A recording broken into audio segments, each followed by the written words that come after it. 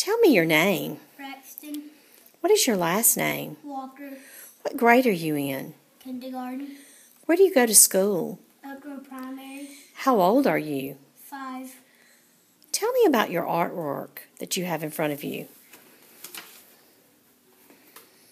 um we took this thing that um art people used to um um roll on paper to make um the stuff go on other pieces of paper Right? and um I put um decorations on it and I put a star and I put a stem and I put presents and I put um, another present. Okay. Could, could you tell me some of the words that you used in your poem? The Christmas tree has presents. The Christmas tree has Is it decorations? decorations. The Christmas tree has presents or stars.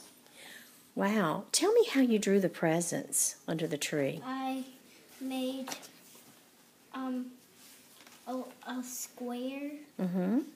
and I made a bow Okay. and the other one I made the same way but it turned out like a little circle for the bow. All right. Do you want to tell us anything else about your artwork? Mm, no ma'am. Would you like to tell us anything about you? Anything else that you haven't already said? Maybe like, what do you like to do in your spare time? Um, Do you have special things you like to play with? mhm.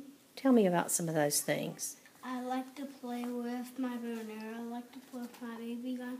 I like to play with um my um toys. I like to play with my um football. I like to play with um my knives.